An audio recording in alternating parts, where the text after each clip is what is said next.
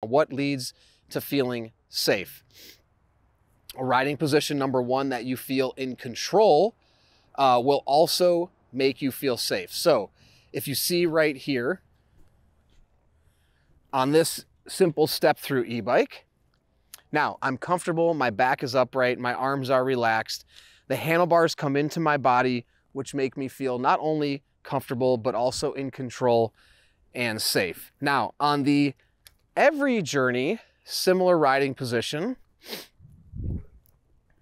and you have the upright riding position, arms, backs relaxed, feeling nice and comfortable. Now, when I feel comfortable, I also feel safe.